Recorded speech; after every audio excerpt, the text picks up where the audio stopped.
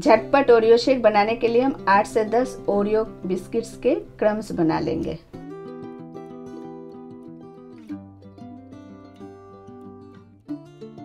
Crumbs तैयार हो गया है। इसी में से हम वन टू स्पून निकाल कर गार्निश के लिए रख लेंगे।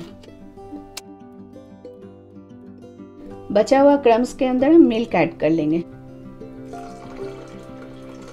अब हम इसको ब्लेंड कर लेंगे।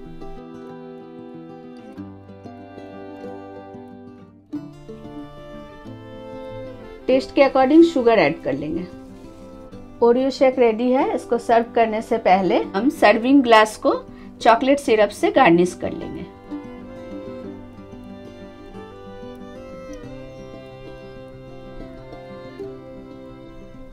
अब हम ओरियो शेक को इसमें सर्व कर लेंगे।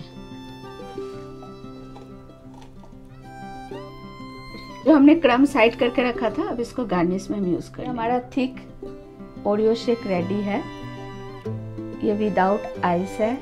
आप इसे कभी भी बच्चों को पिला सकते हैं, खुद भी पी सकते हैं, किसी भी वेदर में।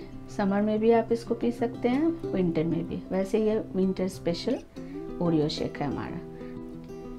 इस तरह से ये ओरियो शेक बनाकर आप एक बार पिए। मेरे चैनल पे न्यू है तो सब्सक्राइब करें। वीडियो पसंद आए तो लाइक शेयर और कमेंट ज़रूर करें। Thanks for watching